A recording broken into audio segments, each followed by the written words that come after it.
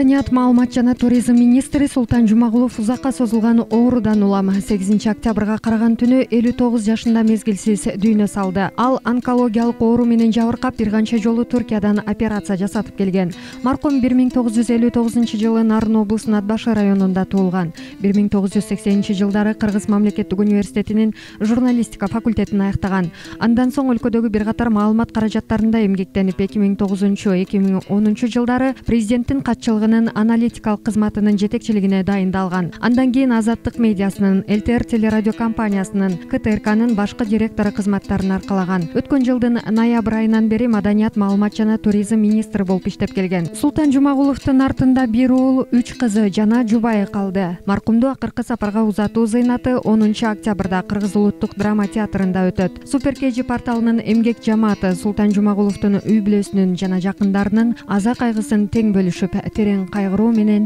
көңүл айтат